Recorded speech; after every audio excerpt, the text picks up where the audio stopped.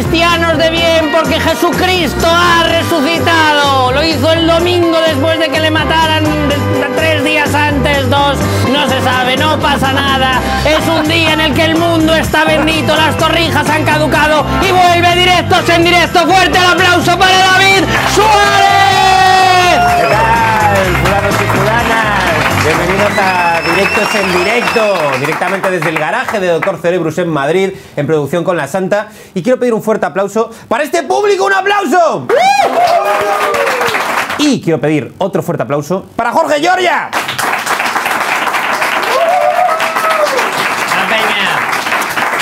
Eh, Jorge Giorgia, ¿cómo estás? ¿Cómo has pasado la Semana Santa? Pues en casa, tranquilo, pero estoy contento porque ¿sabes dónde voy a estar yo? ¿Dónde? En el cine porque va a salir Thor Love and Thunder. ¡Fuerte el aplauso! ¡Un ¡Al dios del trueno!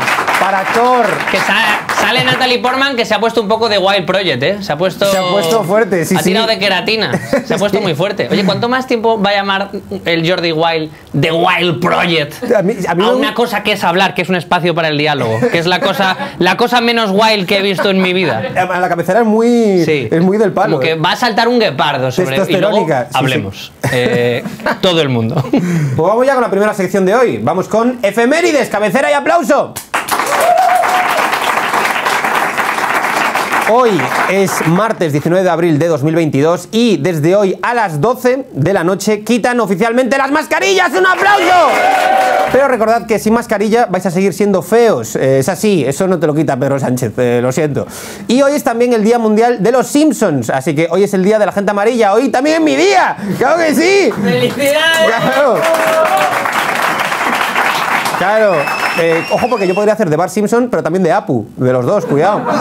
Y tal día como hoy, en 1924, se fundó la primera compañía telefónica de España. Eh, No sé cómo se llamaba la compañía, pero seguro que también me despidieron de ahí, es lo único que, que sé. Muy probable. Que por cierto, el otro día lo pensé, me echaron de Movistar por insultar a mi jefe, me echaron de Vodafone por poner un tweet, y el otro día me quise dar de baja de más móvil y me regalaron un móvil. Eh, ¿Qué coño tengo que poner para que me echen de ahí también? Maldita sea. Lo que significa que dentro de nada llega la era Yastel. La era Yastel.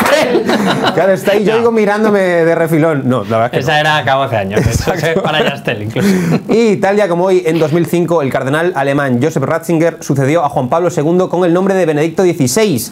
Y yo me pregunto, entonces hubo 15 papas anteriores a, a Benedicto XVI que también se llamaban Benedicto. O sea, tampoco es un nombre tan común, ¿no? Digo yo, es, es muy loco que haya más Benedictos en la historia que iPhones, que aún van por el 13, claro. O sea, hay más papas que se llamaron Benedicto que secuelas de Fast and Furious. Claro, pero es que el iPhone dura más que un papa ahora mismo, porque Claro. es que por, por su propio carácter no aguantan mucho ni con Activia. Y también, tal día como hoy, en 1941, se creó en Madrid el Museo de América. Este museo incluye, entre otras cosas, reliquias arqueológicas de Latinoamérica, entre ellas el primer videotutorial latino, el primer comentario de YouTube de alguien que llamó Homero a Homer, la calva original de Pitbull y el barril donde vivía el Chavo del Ocho. Y yo os pregunto, fulanos y fulanas y Jorge Giorgia, ¿qué más cosas de Latinoamérica podríamos encontrar en el Museo de América? Hombre, el primer hater de Willy Rex, digo yo que estará allí, Claro. ¿no? Quiero decir, toda esa gente diciéndole, no se te da bien el Call of Duty. Vamos con la siguiente sección, vamos con... Yo te lo explico, cabecera y aplauso.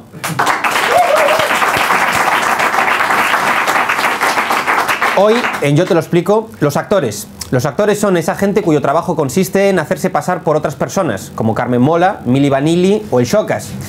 El trabajo de los actores consiste en mentir muy bien para convencerte de algo, como Paco Sanz. Bueno, Paco Sanz al menos no va por ahí obligándote a que vote su corto en el no todo. O sea, eso no lo suele hacer. Hizo cosas malas, pero no llegó a tanto. Los actores trabajan muy duro para un día, por fin, acabar trabajando en un Starbucks. Hay gente que dice que los actores son niños que han sufrido carencias emocionales en la infancia y que ahora son prostitutas del entretenimiento que necesitan una constante validación externa. Pero es mentira, una prostituta no tiene que hacer castings, ni tantas mamadas. Los actores son herramientas que utiliza un director para hacer una película. Muchas veces los actores se creen lo más importante de un rodaje, cuando la mayoría de las veces son piezas absolutamente reemplazables y su talento consiste en no ser muy feos. Si estás mínimamente follable y sabes usar palabras esdrújulas, puedes ser actor. Si Jesús Castro puede, tú también. La mayoría de actores se creen el centro de atención. El papel más difícil para un actor es interpretar en el día a día a una persona normal a la que le importa la vida de los demás. La mayoría de los actores tienen un ego muy muy grande y un piso muy muy pequeño en Malasaña. Los, actores forman parte de ese gremio, en el que también están los cómicos y los fotógrafos. El gremio de la gente que lleva toda la vida esforzándose por no madrugar. Muchos dicen que están buscando eh, el Oscar, pero luego acaba metiéndose M un martes en la Posada de las Ánimas con un tal, un tal Oscar. Esa es la realidad. Soy actor, soy adicto a contar historias. No, José Luis, eres adicto al M y al cristal. El método actoral más famoso es el Stanislavski, el método de Stanislavski, que consiste en no salirse nunca del personaje ni tampoco de hacer microteatro en lavapiés. Cuando un actor español se muere y ve su vida pasar, lo que ve es una recopilación de todas las veces que salieron de fondo haciendo de árbol 4 en El secreto del puente viejo. Una cosa que les flipa a los actores es decir cosas como yo voy en busca de la verdad, o necesito no juzgar el personaje, o el menú Big Mac lo quieres con patatas grandes. Pero también dicen mucho lo de, ay, es que creo que tengo síndrome del impostor. No tienes síndrome del impostor, eres actor, literalmente eres un impostor. Tu trabajo consiste en ser una puta mentira todo el rato. A los actores les encanta opinar sobre política y temas de los que no saben. Estaría guay que un día se enteren de que les escuchamos porque son famosos, no porque tengan puta idea de nada. Actores, sois como Antonio Maestre. La gente os, pre- os presta atención porque se ha olvidado de que vuestro mérito consiste en haberos abierto una cuenta en Twitter. Ya está. Pero ojo, los actores han logrado grandes gestas a lo largo de la historia. ¿Os acordáis cuando Sean Penn dijo que la guerra de Irak estaba mal y la guerra se acabó el día siguiente? Fue inmediato. O cuando se puso fin al cambio climático gracias a que Javier Bardem salió en aquel videoclip de Macaco. ¿Os acordáis?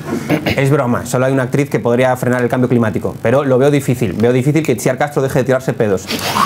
Bueno, esto ha sido muy barato. Esto ha sido muy barato. Ha sido muy barato, eh, por favor. Pero ojo, hay actores muy buenos como Robert De Niro, Morgan Freeman, Tony Cantó, Joaquín Phoenix, Leonardo DiCaprio o mi padre cuando me dice que me quiere.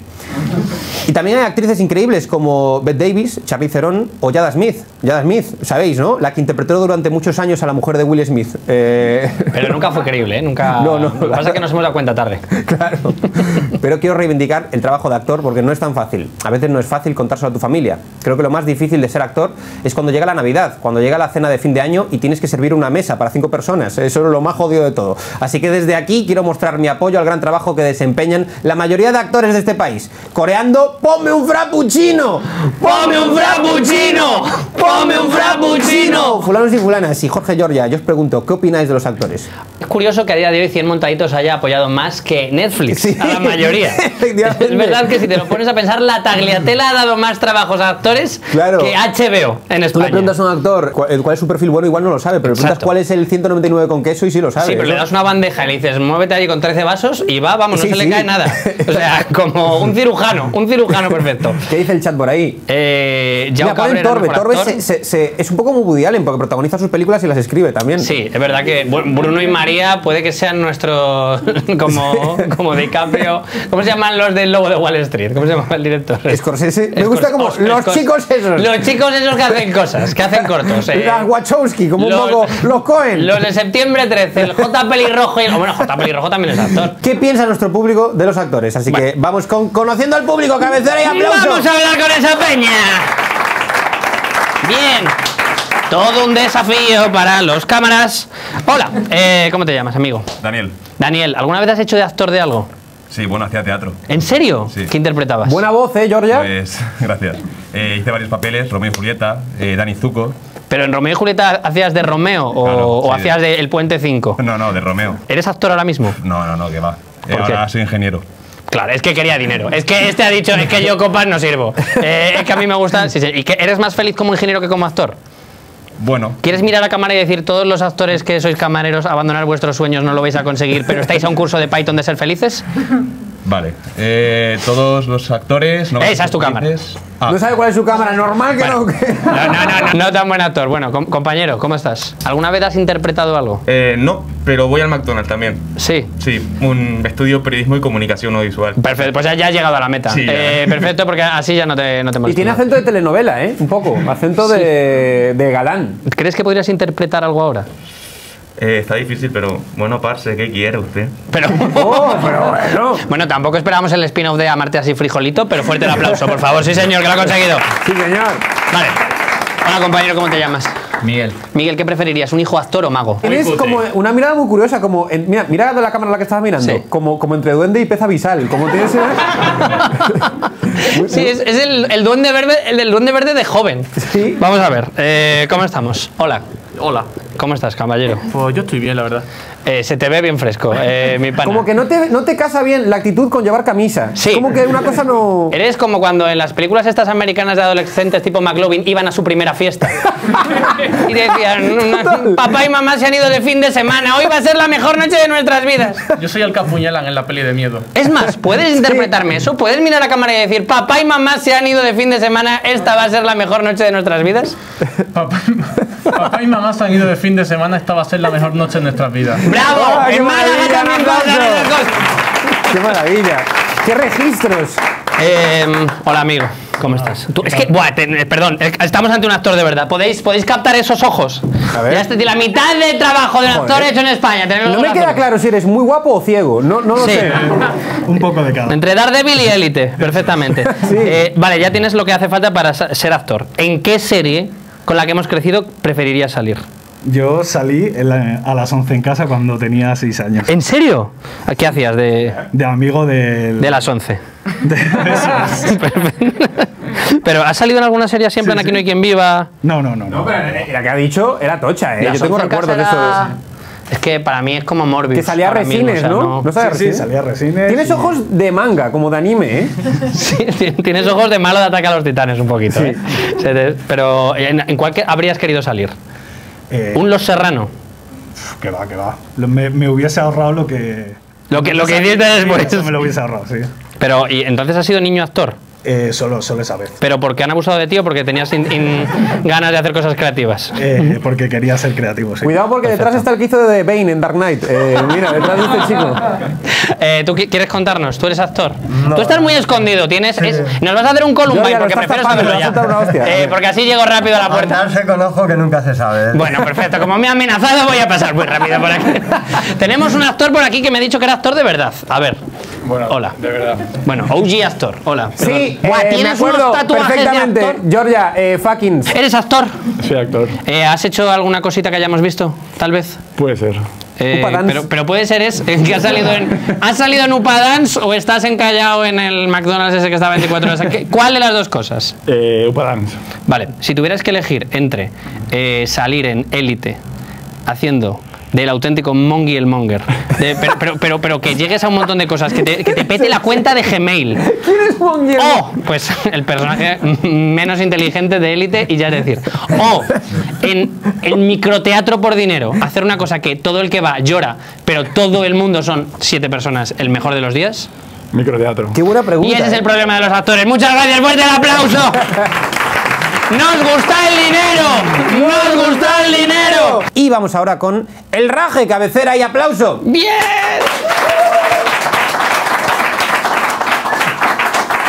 Hoy en el raje, la peña que odia la Semana Santa. Esta gente de odio la Semana Santa o a mí me agobia la Semana Santa, no me gusta. Pero vamos a ver, hijo de puta, ¿qué no te gusta? ¿Que sea festivo y te pueda rascar los huevos? ¿Que haya torrijas de postre? ¿O tienes algo en contra de que la gente muestre su amor por Cristo disfrazándose de villanos de los Power Rangers? Eh, nunca he entendido que tiene que ver una cosa con la otra, la verdad. Hay gente que dice, es que es una fiesta muy aburrida.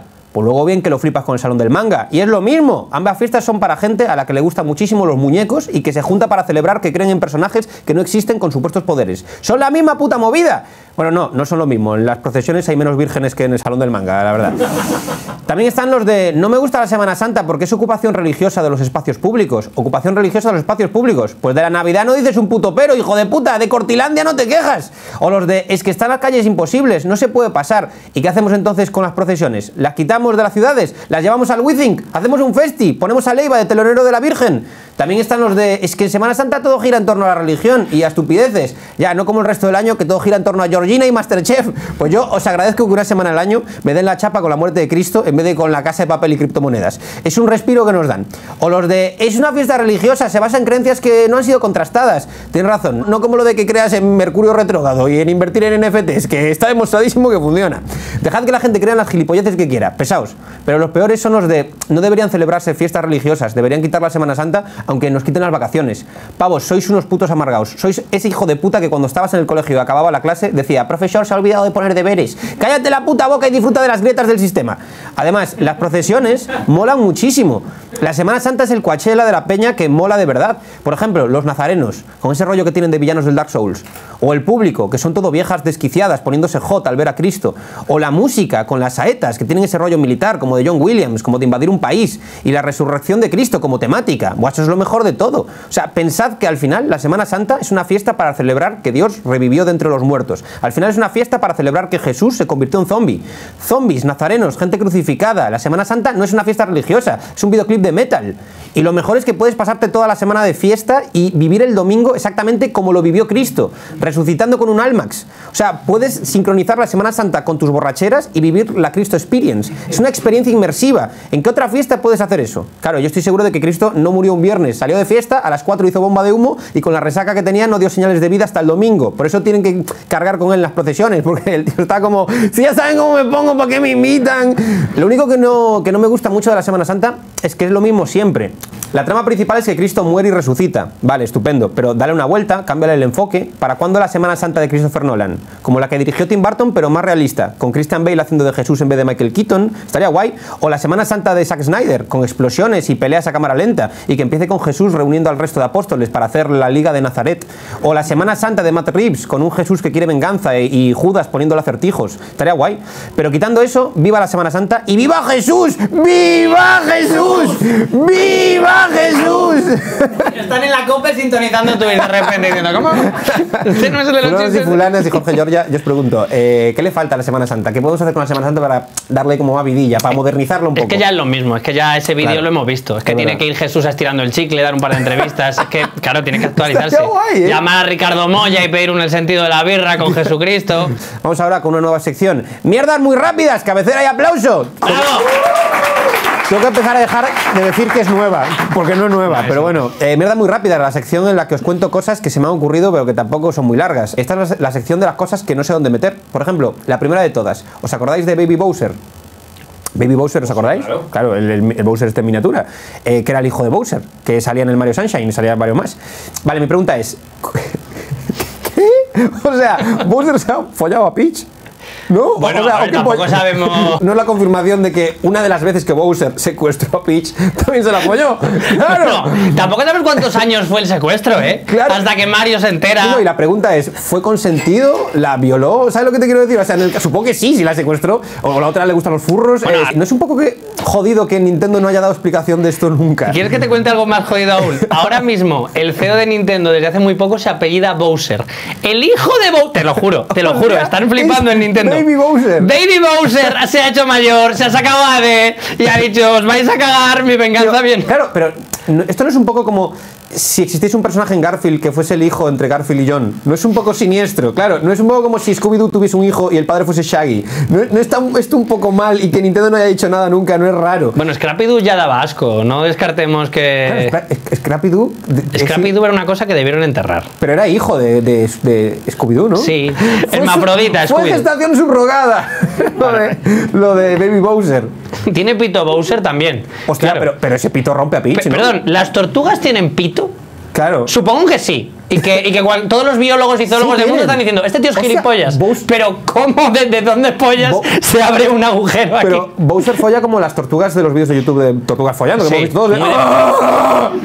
Muy despacio y gritando. Claro. Cada vez más cerca de, un, de, un- de Nintendo, cada vez más cerca de Bruno y María, ¿eh? Poco a Sí, poco, ¿eh? poco a poco.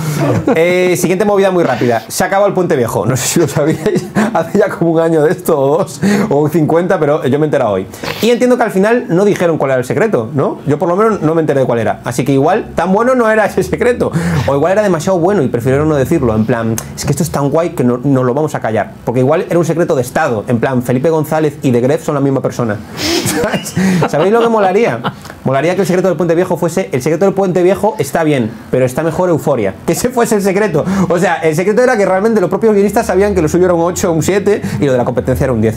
Fulanos y fulanas y Jorge Giorgia, ¿qué opinas de esto? Un 8 un 7 al secreto de Puente Viejo. Hombre, claro, pero Alguien del Pero público, vamos a ver, alguien, Que os rajo a todos. ha ¿eh? visto un capítulo completo del secreto de Yo- Puente Viejo. Que el actor no responda. En verano, con mi abuela. Están, están, serio? están. Y la de Amar en tiempos revueltos te la canta Bustamante el opening. Temazo. ¿En serio? Sí, sí, sí. Amar es para siempre. Chalala. Sí. Luego dicen de los openings de ataque a los titanes, pero de repente Bustamante se los revienta a todos.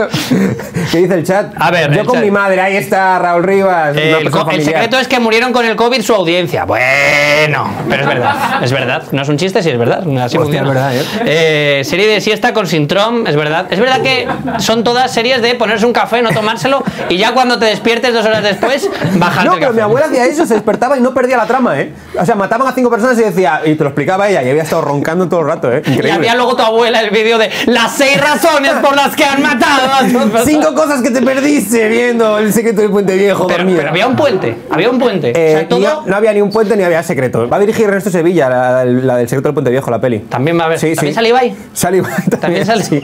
Siguiente movida muy rápida. Ahora, cuando alguien ha follado con alguien, dices, se ha follado no sé quién, ¿no? Eh, se ha tirado no sé cuántos. Ya no se usa la expresión acostarse con, porque es como muy de sitcom de los 90, es muy de peli de Hugh Grant, que ve tu madre en Antena 3 por las tardes. Rollo, cariño, debo confesarte algo, me ha acostado con Charles. ¿No es un poco esto? Acostarse con alguien suena a que han hecho el misionero con las luces apagadas y en silencio. Suena a que han follado pero pidiendo perdón y dándole la vuelta al Cristo. Suena a que han, suena a que han llamado a Gameplay para darle la proof a ese polvo, ¿sabes? A mí me mola la expresión porque me parece súper inocente en el fondo. De hecho, si la escucho, lo de acostarse con me da ternura, porque es la forma más eufemística de decir le han reventado la, genitalia a alguien, ¿no? Es como se ha acostado con. ¿Tú qué opinas de Le esta han meneado la nutria a alguien ¿Qué, se está qué otras expresiones se podrían utilizar para follar? Bueno, y la que se ha perdido, por cierto, y es de celebrar, hacer el amor. Hacer He el hecho amor. ¡Qué asco! Este hacer el amor Además es mentira, he hecho el amor con... No, no sabes cómo se ha pedido. Pero acostarse con, con- con es elegante, es bonita. Sí, pero hacer el amor, es mentira. asqueroso. Es mentira Sí. porque no, no ha habido amor. Hacer el amor es pasar un domingo merendando juntos y dar un paseo en el retiro. Claro. Eso es hacer el amor. Claro. Lo otro es follar o, o- o menearte la... ¿Qué dice nuestro chat que es el mayor experto en hacer el amor? Llevar a los laureles o hacer el delicioso, esta me gusta mucho. Uf, qué esta asco. desde el LATAM. enterrar el hueso. Y también está la de enterrar el puro. No, que, ¿cómo Sí. es apagar el puro? Eh, Refugiar el pingüino. Chuscar, hundirla, bajar al pilón. No, bajar al pilón es otra cosa, ¿no? Eh, bajar al pilón es bajar al pilón es parte de, de- de todos los, los servicios que se pueden ofrecer. Claro. Hacer el sin respeto, me gusta muchísimo. Poner el lomo en adobo, Irse de romería. darle la banana al gorila me gusta un poco, ¿eh? Y vamos con la siguiente sección. Vamos con entrevista a alguien extremadamente relevante. Cabecera y aplauso. ¡Ahora sí! Y hoy, en entrevista a alguien extremadamente relevante, un filósofo. Un fuerte aplauso para Ernesto Castro. ¡Bien! ¡Ya se arrepiente! Se. ¡Ya se arrepiente! Demasiado tarde. eh, eh, demasiado tarde, tío. Eh, hostia, ¿más- ¿quieres tu botella de agua? Eh, vale, tío, tengo aquí mis preguntas. Estoy muy nervioso, ¿eh? Eh, Madre mía. A ver, eh, voy- vengo en son de paz, ¿eh? O sea. Muy bien. Lo primero, gracias por venir. Que soy muy fan, soy suscriptor de tu canal. ¿Sabes una cosa que me flipa? Que tengas la hostia de suscriptores en un canal. eh, o sea, tienes como 120.000. Sí, casi 130. Yo, para que te hagas una idea, debo estar como en 130.000, una cosa así. Y yo llevo toda mi vida haciendo tú también cosas para YouTube, pero que son cosas. Ah, bueno, yo estoy hablando para. Ah, nada, sí, ¿no? maravilla. Eh, un aplauso para Cristina, por favor. Muy bien. Eh, Sí, 130, efectivamente. Entonces, me flipa que, que en un canal que no tiene una intencionalidad como muy de, eh, hey, voy a intentar medrar, en-". o sea, si me- ya me entiendes, como una cosa más Sí, mainstream y suscríbete, dale Sí, al like. Y además con vídeos muy densos de filosofía, porque hay canales de filosofía que sí que tienen mucha. mm, como una intencionalidad más de. Efectivamente, suscríbete. No, los tuyos son dos horas de conferencia densa. Y es curioso porque ha crecido el canal más cuanto más refractado he sido yo a la interacción. Es decir, antes tenía redes sociales y es a partir de quitarme redes sociales y quitar los comentarios que de repente pues el canal ha crecido por el rollo este de el único contacto con este mm, sibarita o este loco del desierto que Claro. está desde su caverna emitiendo dos horas y media sobre Platón. Eh, de hecho, te iba a preguntar por eso. No tienes redes sociales. He flipado porque me he tenido que meterme en tu web. Luego supongo que mandar una- Ah, sí. un, correo a la editorial. eh, Burofax, burofax, sí. Que serás tú con un tenedor en una cueva y, y- y acceder así. Porque no hay. O sea, yo pensé que era en plan. eh, te tenía como. Típico loco que no tiene Instagram, pero tiene Twitter, o viceversa, ¿sabes? Claro, claro. Eh, pues sí, me quité de todo así de golpe y contento. Pero vamos, mm, sí, me gusta esta imagen también un poco de, de loco metido en la selva negra que no quiere mm, conversar mucho con, con su público, sí. Yo creo que hay dos Ernestos. Yo te he estado viendo tus vídeos y creo que hay dos Ernestos. Hay un Ernesto como más eh, técnico, más farragoso. Yo no, yo no sé nada de filosofía, entonces obviamente para mí va a ser farragoso cuando haya mucho tecnicismo. Y como un Ernesto como más transparente y divulgativo, que te he visto a veces, te lo he visto en la birra, en el sentido de la birra, eh, por ¿Cómo funciona esto? Es decir, ¿cuándo decides voy a poner el chip, eh, voy a hacerme entender? ¿Y por qué no has tomado a veces la decisión de voy a intentar acceder a más gente eh, intentando ser un poco más. mm, Yo creo que hay mucha divulgación eh, filosófica que la hace la gente bien. Lo mío son clases en la universidad. O sea, no, no hay una pretensión de hacer. Yo no hago apenas contenido en YouTube. Me he forzado un poco en- eh, porque hacía unos directos loquísimos donde pretendía responder a los comentarios y se me mm, llenaba aquello de sinónimos de follar. Claro. Y entonces eh, yo no tenía nada que aportar a ese, a ese contenido. Entonces mi, mi principal vocación es el entusiasmo y la investigación, ¿no? Claro. O sea, descubrir algo nuevo y interesarme por ello. De hecho, acuérdate que yo fui el que te entrevisté a ti Sí, hace un montón. Hace un montonazo de tiempo, cuando estabas tú con Vincent Fitch. Sí, todavía. hace un Esto fue montón, en correcto. 2013, 2014. Sí, sí, sí, sí. Y, me, y me, vi- me vi prácticamente todos tus vídeos. O sea que, Ojo, eh. bueno, a mí me gusta un poco ese, ese, esa es la principal diferencia, ¿no? La diferencia entre, digo, yo creo que la entrevista o el formato más espontáneo y cuando ya tienes unos folios que estás un poco apegado a lo que, Claro. a lo que ya has do- investigado, documentado.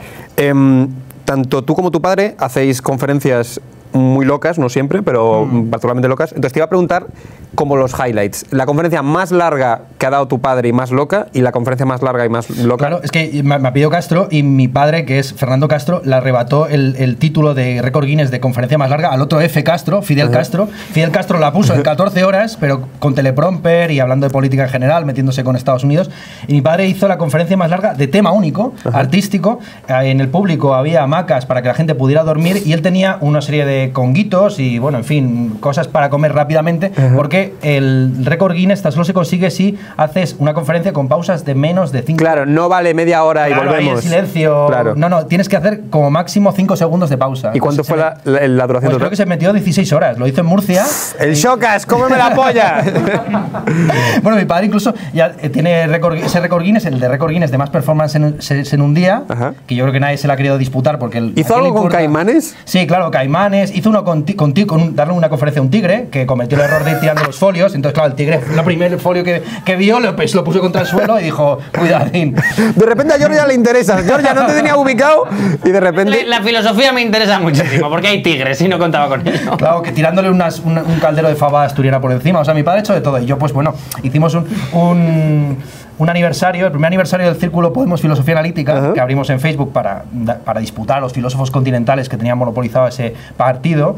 Pues era un amigo mío de- disfrazado de conejita sexy, eh, Ajá. por una broma de- filosófica un poco difícil de explicar, y yo eh, con un triquini eh, haciendo de la navaja de Ockham, que es uno de los. Hicimos incluso con, un concurso de chupitos, de tomarnos un chupito cada vez que aparecía la palabra sign en Ser y Tiempo de Heidegger, que son pues, eh, cada frase más o menos, y ya acabamos borrachos. Claro, acabaste diciendo, pero coma etílico, supongo. Efectivamente. Vale, em, ¿por qué eh, el, filósofo que le flipa a todo el mundo cuando, cuando tiene 15 años es Nietzsche? O sea, ¿por qué? ¿Qué relación hay entre ser un edgy de mierda y que te flipe de Nietzsche? ¿Por qué? ¿Qué conexión hay ahí? Eh, pues supongo que el estilo aforístico, ¿no? Y, y al final lo que más se ha popularizado es justamente eso a través de las redes sociales. Todo el mundo es, puede ser Nietzsche o pretende ser Nietzsche con aforismos más o menos profundos, intensos, pasivo-agresivos en las redes sociales. Entonces la, la- la filosofía que él transmite, un poco existencial, mal entendida, está permeando nuestro día a día, ¿no? Y ya, ya digo que las redes sociales y la comunicación digital ha acentuado mucho más esa, esa visión un poco trágica, al mismo tiempo eh, egocéntrica del mundo. Em, ¿No te da asco cuando buscas filosofía en Google Imágenes y salen imágenes de estas como de un cerebro y le falta una pieza de un puzzle? O como un cerebro, alguien pensando y le salen como mm, un, un universo. ¿no Sí, te el pensador de Rodin, que está en el cuarto de baño. Sí, ¿no te da mucha grima esa, toda sí. esa identidad como, no Sí, sé? pero no sé qué. Claro, a mí a veces me, me preguntaban, bueno, ¿qué, qué se siente siendo filósofo joven? ¿no? Como digo, pero eh, hay gente. Vergüenza, Que se es está, ya, verdad. vergüenza. como la gente que entiende que la filosofía está en gente en, en mármol o en bustos de. Que yo relaciono muchas veces más con, o sea, las reflexiones, evidentemente a un nivel eh, de tener casi una discapacidad que he podido tener yo filosóficas, han sido fumado. Y lo relaciono mucho más con, con algo de casi de drogas que, Claro. con, que con elementos de... eh, Yo creo que tiene mucho que ver además con la comedia, porque el tema de la ironía, de, de tomarte las cosas un poco con un, con un giro irónico o satírico, eh, es lo que vincula, yo creo, nuestras dos profesiones. Ujú. y, eh, y para mí, un, de hecho, un lector de filosofía que me ha llegado incluso a escribir para corregirme una coma en la página 300 de un libro mío es Miguel Noguera. Miguel Hostia. Noguera lee muchísima filosofía. De hecho, él, el Infrashow, es es, es, una, es una caricatura de un estilo que tiene un profesor de la Universidad de Barcelona que escribe así también muy. eh, que habla muy. Sí, "Ah, mm, esto se lo quiero escuché. tal, no sé qué. Y es un profesor que se dedica a explicar Heidegger con. Bueno, vamos a intentar aproximarnos al Es tema. que lo entonces- busqué y efectivamente tiene la cadencia y tienen el... Eso es. Tú tienes, por cierto, creo que la, la entrevista más chula que le han hecho a Noguera, porque es como de cuatro horas. Sí, además por la noche fue después de un show suyo, nos metimos en nuestra Eh, casa. ¿Te puedo pedir agua? Bueno, nuestra casa parece que yo vivo con Noguera. es una pareja cómica y sexual ahora que se acaba de surgir. Sí, en mi casa nos, nos metimos, además con público. eh, estaban allí los del canódromo olvidado, se llama. El, Abandonado, sí. Eso es, abandonado. También puede ser olvidado. y estaban ellos dos y, y pues, le pusieron sillas y estuvimos hasta que dio el cuerpo, de 12 a las- hasta las 5 de la mañana o por ahí, 5 horas de entrevista. Y porque las cámaras no daban más. Yo tengo unas cámaras muy cutres No, no, y pues, monto y además Maker. le hiciste preguntas interesantes que no lo habían hecho, o sea, me, me moló bastante. Em, ¿Cuál es la corriente filosófica actual, o la que mm, más tenga peso ahora mismo, aunque sea antigua y tal, que crees que ha hecho más daño o que ha tenido un peso como de mierda? Todo el mundo cree esta realidad ahora incontestable, pero que en realidad es una puta gilipollez. O el, o el filósofo que crees que está más sobre, sobrevalorado. Claro, la, la mayor parte de la gente te diría que la posmodernidad y que eso tiene mucho que ver con las fake news, pero en realidad la filosofía del presente es el pragmatismo, que es la filosofía que viene de Estados Unidos de entender que lo verdadero es lo que es útil, básicamente. Mm. Y es la vertiente, digamos, perversa del nichianismo, de que no existen la- hechos sino interpretaciones. Y la que interpretación todo es irónico y nada, no Sí, existe y- una verdad y entonces que efectivamente, ya. efectivamente. Eh, ¿Se folla más siendo filósofo? ¿Hay una erótica de la filosofía? Eh, no lo sé. no, lo- no lo sé. no pasa has- palabra, pasa Vale, palabra. Eh, acabas de sacar un libro que se llama Jantipa o del morir. Eso es. ¿De qué va? Es, un, eh, es una actualización de, de un diálogo de Platón sobre la Eh, que yo sé de qué va, que es, va de, de Auschwitz. Venga, que vez conmigo, Efectivamente. eh, que se está riendo aquí. el pu- Pues nada, una filósofa Edith Stein que fue llevada a Auschwitz, entonces es como una conversación final con una serie de figuras, mm, unas compañeras, unas mujeres que, me- que estuvieron en Auschwitz realmente y que hablan sobre la muerte, la vida, el sentido de la existencia, etcétera, ahí en, en el campo de concentración. Eh, tu libro anterior hablaba de, de la relación de filosofía y trap. No sé si hay uno en medio o sí, no. hay, pero- hay por lo menos cuatro o cinco en medio. Ah, vale, anterior. Vale, pues el, el de, el, que hablabas de trap, em, no lo he leído, seguramente sea una cosa sesuda y con todo el sentido del mundo, pero ¿no tienes miedo de, de caer a veces, no te lo he visto hacer, pero puede que sea un miedo que tengas, en em, sobre, eh, sobre interpretar cosas que realmente no estén tan, que estén vacías o no estén tan... Claro, yo lo que pasa es que a mí me gustaba el trap y mm, por amigas que habían mm, sido exparejas de Zetangana, bueno, no, no muchas, sino una en concreto que había sido, no, tampoco tiene tantas exnovias, espero, bueno, no se sabe nunca, Claro. pero vamos, una en concreto... espero que no se haya follado tanta gente, porque si no vaya... Claro, sí, Gengis Khan y luego Zetangana, ¿no? En el ranking de... sí, pues esta chica me, me facilitó, Marta Chávez, que de hecho a- le contribuyó mucho a, a desarrollar todo el perfil artístico de Zetangana, referencias a Andy Warhol, a Vida Dollars, todo ese tipo de asuntos, bien le vienen por ahí. Pues esta mm, me dijo, oye, ¿quieres entrevistar a Zetangana? Y dije, venga. Y todo fue realmente por ellos. O sea, ellos empezaron a decir, ¿por qué no? Me contactó el, el representante de Young Beef y lo de Bad Gyal surgió a través de Vice. Entonces, digamos que ya con esas tres entrevistas dije, pues, ¿por qué no escribo un libro que sea una pura fenomenología de ir empalmando las casi las citas y, las, y los fragmentos de lírica en los que se expresa una visión del mundo que mm, yo creo que es más o menos Sí, que se explica por sí mismo que se explica más por sí misma y no necesita de yo en, mi- en el libro no, no se cita prácticamente a ningún filósofo ni se un- uno- unas películas de esto es importante porque lo diga Nietzsche. Eh, más bien que casi al revés no lo que dicen lo que dice Nietzsche es verdadero y se demuestra en que todavía gente a día de hoy que no ha leído a Nietzsche lo sigue reproduciendo. Eh, ¿Jan Beef o Miguel Ancho Bastos? Miguel Anso Bastos Miguel Anso Bastos es un trapero tremendo de Galicia Eh, sí sí Te quería preguntar el OG ¿cómo, cómo- cómo es en persona, porque tiene toda la, todo el rollo como de ser mega majo. Plan, es una persona que, independientemente de que uno pueda estar eh, a favor o en contra de, lo- de sus movidas, parece que es innegablemente mm, adorable. Sí, es un osito entrañable de, las, de, la, de la profundidad del rural agro mm, gal- gallego. Es como el contrapuesto del soca, yo diría. Eh, también conociste a, a Escotado. Sí. No sé si tuvisteis algún momento íntimo de decir, ¡ay, qué bonito! De estoy compartiendo Bueno, esto ver, con. eh, siendo escotado tan conocido por el asunto de las drogas, pues es inevitable contar la anécdota de cuando llegamos nos abrió la puerta un tipo que parecía su camello en su casa y dijo, ¿habéis traído la negrita?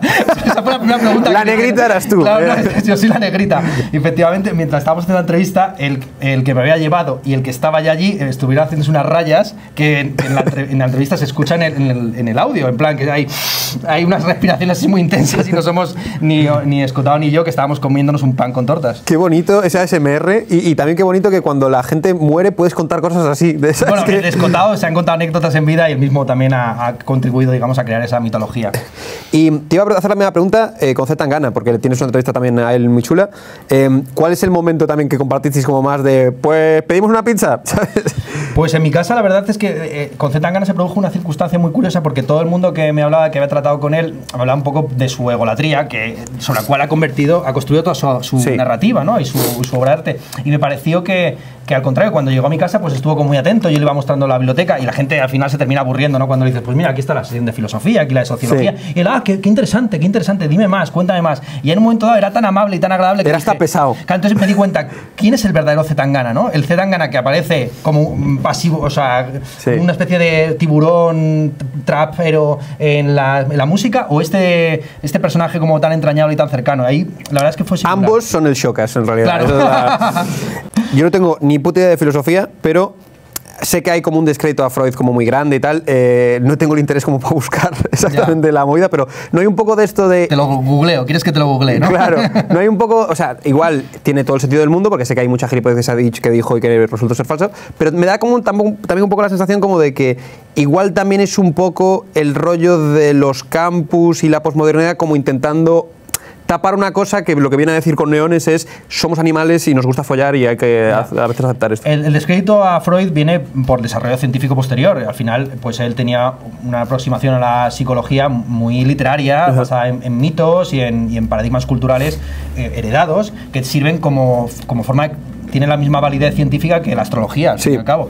Pero bueno, siguen funcionando como mitos para, para construir literatura y por ese motivo Freud ha sido más influyente en la filosofía o en la literatura de las artes en general que en la propia disciplina psicológica o psiquiátrica. Entonces, si tú tienes problemas mentales serios, no vayas a un, a un psicoanalista. En general va a ser gente, va a ser gente que te va a cobrar por, por de- contar tu vida y él, mm, ah, sí, muy bien, tomar unas notas y ya está, hacer la famosa transferencia. Entonces, el descrédito a Freud viene, en contrario, viene por el contrario por los positivistas, los que creen que hay que hacer ciencia dura, meterse, eh, dar pastillas en lugar de sermones. Entonces, toda, toda la medicalización de la psiquiatría y de la psicología es lo que ha apartado a Freud. Porque en Freud no hay un tratamiento psiquiátrico que vaya a medicalizar tu enfermedad. En realidad se trata de más o menos casi disfrutar de tu síntoma y asumir tus traumas y darte cuenta Pero de eso que- está de puta madre, ¿no? eso está de puta madre y en parte, buena parte de la psico- lo que se llama la psicodinámica, la terapia contemporánea, se apoya en el psicoanálisis, pero no quiere reconocer, no quiere reconocer que viene de esa fuente, efectivamente. Pero ya digo que no se trata tanto de eh, la posmodernidad contra Freud, sino al contrario, los cientificistas contra. Freud. Eh, ¿Cómo es ir a Gameplay? ¿Te hacen un test woke al- y si no lo pasas, no vas o como...? Bueno, ya sabes que Gameplay buscan un, un- tiene es curioso porque hay una especie como de doble rasero, eh, está que haya paridad ideológica y al mismo tiempo de género. Entonces eso hace que siempre vaya Elizabeth Duval, Sí. siempre, y hay también como una o dos colaboradores de, de derechas que Sí. siempre están fijas, ¿no? Y, eh, y, a ver, es un programa que es interesante. Yo cada Sí, vez me informo menos. O sea, la última vez que me llevaron me preguntaron por la ley Mordaza y entonces dije, por favor que me la pongan porque no tengo nada que decir sobre ella. Y bueno, es un po- como todas las tertulias. En el fondo la gente no aprecia a los que van allí porque estén muy informados, sino porque tienen opi- opiniones contundentes. Decía eh, Manuel Vicente que los columnistas son aquellos que opinan sobre aquello que no saben, borrachos en mitad de la noche, ¿no? Pues esto lo mismo con las tertulias. Lo que a la gente le gusta Eh, es la ignorancia. Georgia, eso somos nosotros. Autoafirmada. que lo sepas. Eh, en 2012, esto me sorprendió, hiciste tu TFM sobre la cuestión del consentimiento y entiendo que también eh, la identidad y todas estas movidas. Viendo que te adelantaste bastante a cuestiones que serían mainstream años después, y sé que son cosas que se llevarían hablando en filosofía mm, desde entonces y tal, pero sí que es verdad que te reconozco el mérito de, hostia, te fijas, podías haber escogido muchas cosas y escogiste eso. Eh, hostia, ¿cómo ves el futuro? ¿Cuál crees que es la siguiente, cuál crees que es el siguiente tema en el futuro que va a ser objeto de estudio de un gameplay? En plan, ¿cuál va- ¿cuáles van a ser los temas del futuro? ¿Por dónde va a tirar la movida? Gameplays es, es como esto de eh, Cuéntame cómo pasó, que ya va a llegar Cuéntame cómo pasó al presente y va a empezar a pronosticar el futuro. Pues Gameplays ya ha agotado todos los temas. Ellos además están, dicen que ahora toca hacer los mismos temas que ya trataron en la primera y la segunda temporada, pero desde la perspectiva de la derecha. Entonces ahora Ajá. eh, digamos que el test es el opuesto, ¿no? De Hostia, poner la bandera, Sí, etc. sí. Y eh, O sea, ¿cuál- eh, lo que quería decir es cuáles crees que van a ser las grandes preguntas del futuro si ahora en el presente son eh, la gente trans Mm, igual las transespecies o movidas así como de estas de... Sí, pero bueno, esto se lleva debatiendo también desde hace mucho tiempo. Gente que quiere ser eh, serpiente o loro o gato y que, y- o gente que quiere ser discapacitada, que, que, que- las piernas le sobran y, y pide que el Estado, por favor, le, le ampute las piernas. Y es gente que, que, en fin, que si no se la amputan, pues se pondrá en unas vías de un tren o cosas así. Es gente bastante peligrosa. Y también lo, vi lo de las edades, de no tengo la edad que tengo. Sí, el edadismo, efectivamente. El, bueno, el edadismo es, es la, el- la ideología que todo el mundo sostiene de que por edades puedes entender cómo la gente es izquierdas, de derechas, conservadora, progresista. Y eh, pues es algo que también está en el fondo sobre la mesa. No sé. Yo creo que al final la, la guerra en Ucrania va a eliminarlo todo, o sea que no va a haber debate próximo.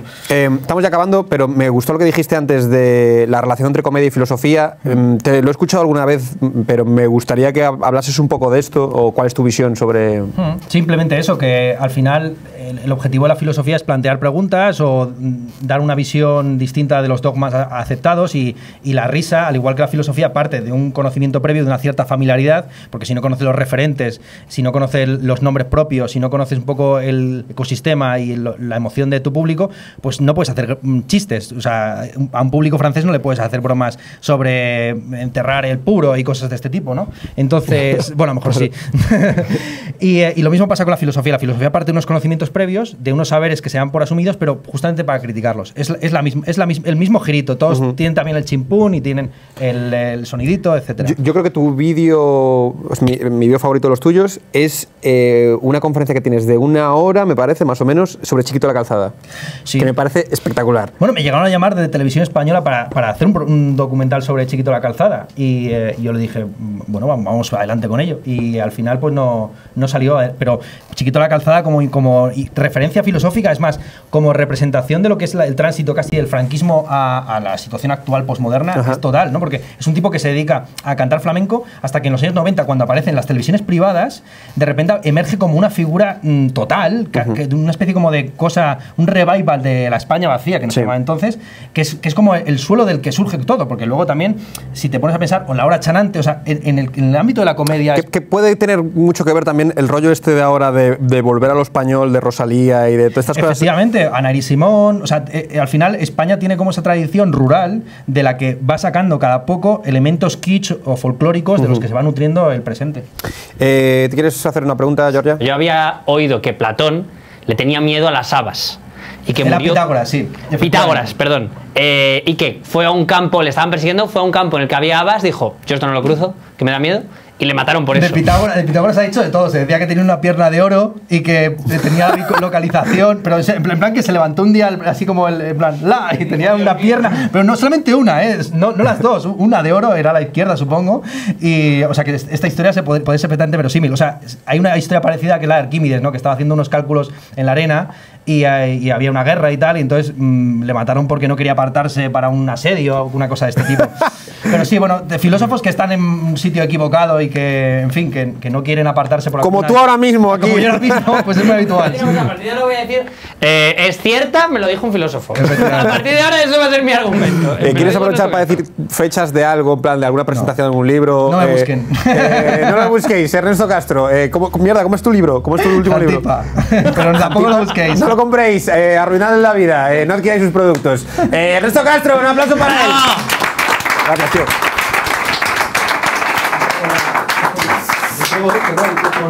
Eh, vamos con tu sección. Georgia, manita Venga. sea, un aplauso para la sección de De- Georgia. dentro cabecera. Una miscelánea. Mi sección ya es una miscelánea. Bueno, mañana se acaban las mascarillas, Efectivamente. pero mañana es el peor día del año. ¿Por qué? Mañana es mal día para que se acaben las mascarillas porque mañana es 20 de abril. Ajá. Y mañana hace 32 años de la peor canción de la historia de España. Mañana hace 32 años del 20 macarrón. de abril del 90. El 20 de abril, de- hola chata, ¿cómo estás? Los celtas cortos los he investigado, no me voy a meter con ellos porque sí. Efectivamente, grupo vallisoletano. eh, su plan favorito es ir de camping a la montaña, echarse unos petas mirando las estrellas, sí señor. Eh, se llaman así porque el batería fumaba celtas cortos, no sé si lo sabes. ¿Y qué es eso? Eh, pues un tabaco. Pues es que estaban a, a un poquito, a que se alargue el brainstorming Se de llamarse cachimba cabeza, con ¿eh? mis niñas. Sí, o sea, sí. estaban a punto de llamarse cachimba en la sala Bat a las 3 de la mañana. Vengo a hablar de 20 de abril de de- del 90, que es una canción que escribió Cifu. De todos los celtas cortos, el, el calvo con perilla es la versión de Pitbull que sabe usar un diablo, eh, es la versión hippie. Además que celtas cortos eh, en España son éxito comercial. Han- o sea, han hecho que la canción de 20 de abril del 90 sea número uno en los 40. Eh, ¿Qué pasa? Que es una carta, es la carta que peor ha envejecido la historia, que le manda a una exnovia suya el 20 de abril del 90 cayó un viernes y lo que ocurrió es que estamos en una época oscura. Estamos en una época en la que no hay mucho entretenimiento. No hay Netflix, no hay HBO, le debieron fallar los colegas, estaba en casa, no hay ni una puta Game Boy para echarte un detective Pikachu y claro, y verdad. hace la versión de mandar un WhatsApp a las 4 de la mañana y decir ¿qué haces olvidona? Eh, que se hacía entonces, que es escribir una carta, que implica comprar un puto sello para decir estoy solo en casa. Hay que querer, ¿eh? Ya me- son ganas, ¿eh? Me he tomado, me he tomado do- dos frangélicos, te vienes para acá. Y encima, el año pasado salió que la chica a la que le escribió la carta le había respondido. ¡Oh! ¿Y qué le dijo? XD. Según la revista GQ, le respondió párrafo por párrafo Oh. a la canción. Y traigo aquí la respuesta. eh, ¿Se hizo pie de páginas? sí, sí, sí, y fue cogiendo párrafos y diciendo, eh, de esto tengo cosas que decir. Bueno, la primera parte es eh, el 20 de abril 90, hola chata, ¿cómo estás? ¿Te sorprende que te escriba? Que asco da cuando hacen las canciones como si fueran poemas. Eh, tanto tiempo es normal. Estaba aquí solo, me había puesto a recordar, me entró la melancolía, insisto, te haces una cuca y se te pasa la melancolía y te pones Transformas la era de Ultron, y te tenía que hablar. Y la tía le dice, hola chato, ¿me has llamado chata? ¿De verdad? Eh, ya que lo preguntas, estoy mejor que en brazos, ha pasado mucho tiempo y no de ti realmente ya no me sorprende nada. O sea que tus amigos hoy Hostia, no salen. ella- la tía va agro que te cagas. Sí, sí, O sea, sí. la tía va como cuando alguien le dice a él, Socas, yo creo que no eres el mejor, y le dedica 45 minutos Sí, de sí, vídeo sí. insultando a toda su familia. Está muy de hacer el gestito este Sí. de, de- O sea, esto pasa hoy. Esto llega a ocurrir en vídeo y tenemos vídeo del Socas, vídeo de Ibai pidiendo perdón, vídeo de Johan, Juan de Te Puedes Creer, vídeo de David Pareja diciendo que es el hijo de puta. O sea, tenemos Twitter revolucionado dos meses con la respuesta que da la pava. Le dice, eh, o sea que tus amigos hoy no salen y te has dicho en pleno calentón, voy a escribirle una carta a esta a ver si suena la flauta. Pues no. ¿Habrá gente que ha follado por carta así? ¿No con un sobre también, ¿no sea, es un proceso muy largo? Sí. Quiero decir, venga, cartero, tal, una semana. Eh, te tienen que volver a dar las 4 de la mañana, te tienes que volver a poner en el mood. En fin, eh, terrible. El siguiente, el siguiente momento, dice el, el estribillo, que da un asco, como su puta madre. ¿Recuerdas aquella noche en la cabeza del turbo? Hay una cabaña que se llama La Cabaña del Turmo, que existe, que es un refugio de montaña. Tenemos una foto, por favor, ponérmela. Y desde Ah. aquí pido, eh, ¿puede la gente que vaya allí sin utilizar fuego derrumbarla? Yo te digo una Eh, cosa. no hemos pedido a nuestra audiencia nada, na- plantar árboles, no, derrumbar esa cabaña. Pues dice, ¿recuerdas aquella noche en la cabaña del turno? Las risas que nos hacíamos antes todos juntos, como diciendo, qué noche, ¿eh? Dice, lo de la cabaña lo recuerdo, claro que lo recuerdo. Yo allí contigo, con estos todos juntos de fin de semana romántico, en ese submarino. Lo de las risas ya no tanto, mira por dónde. ¡Oh! ¡Público! un ¡Oh! Oh, venga. Cada vez que ella diga algo que es un poco de. Sí. mm, hay que hacer un O. Sí, esto en realidad es la versión de la hostia de Will Smith a Chris Rock, pero alargado. en el Alargado, tiempo claro. Fotograma frame a frame, claro. Exacto. Eso sí, estoy viendo como si fuera ayer a tus amigotes haciendo chistes verdes y poniéndose del revés mientras tú no podías ni sostener la guitarra. ¡Oh! Y luego los dos comas etílicos en medio de la montaña y la ¡Oh! posterior peregrinación al hospital a las 5 de la mañana. ¡Oh! Pero tío, qué mal está saliendo esto al calvo. ¿eh? Pero esto es prácticamente un Me Too. Le están haciendo Sí, un. le están haciendo un mito al calvo, pero como lo han escrito y en España no sabemos leer, eh, pues, pues- pues no se puede. Conducía yo, no sé si te acuerdas, porque es la única que podía ver. Me alegro mucho de que tus colegas hayan cambiado, porque así no iban a ninguna parte. Hay un momento en el que el señor que quiere follar, en el que quiere enterrar el pizarrín, Sí. eh, que quiere esconder el pingüino, Eh, ya dice, habrá que preguntarle a esta chavala que cómo le va. Y dice, pero bueno, tú qué tal, di lo mismo, hasta tienes críos. ¿Qué tal te va con el tío ese?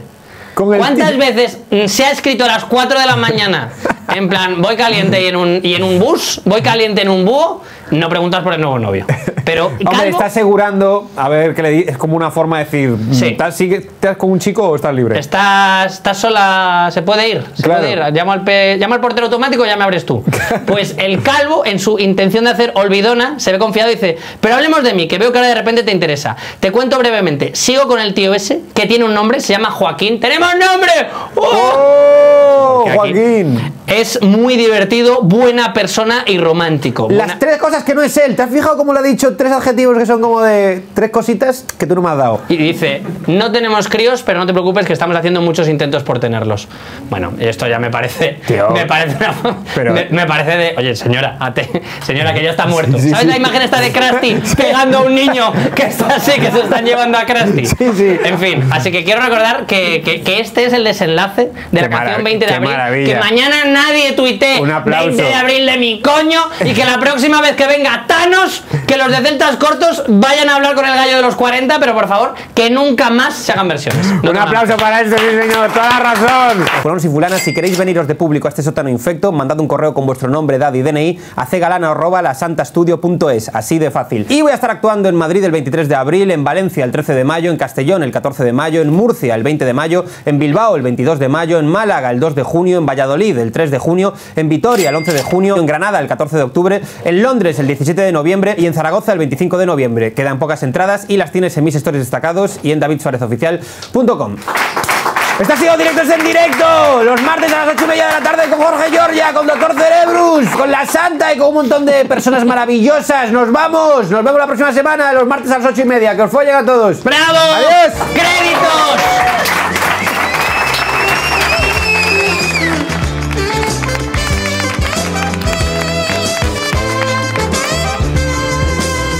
Esto que acabas de ver es uno de mis directos en Twitch. Métete ya en twitch.tv barra David Suárez Twitch y suscríbete para no perdértelos, que es gratis si tienes Amazon.